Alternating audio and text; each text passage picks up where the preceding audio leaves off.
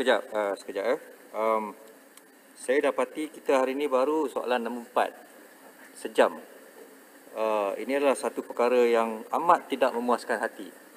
Kalau kita mengikut convention di House of Commons, soalan tu 30 saat dan jawapan seminit je. Tapi di sini kita bagi 3 minit dan 2 minit setengah dan sebagainya.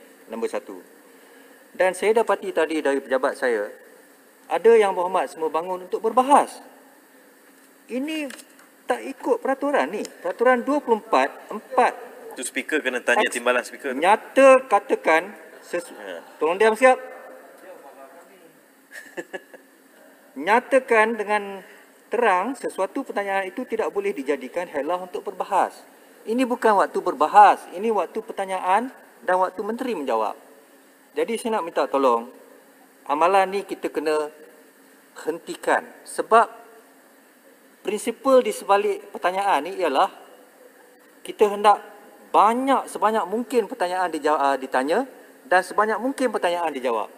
Bukan dibolot oleh ahli-ahli yang berhormat yang mendapat soalannya top 10. Bukan. Bukan begitu.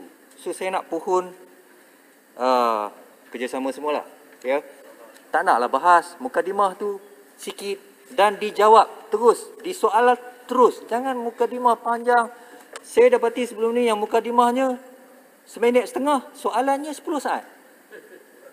Tak elok macam tu. Sebab ia mengambil masa yang berhormat yang berhormat lain untuk menanyakan soalan. Not fair to you all actually. Saya tak apa. Saya boleh bagi satu soalan sejam pun okey. But not fair to uh, tidak ada kepada ahli-ahli yang berhormat sendiri lah.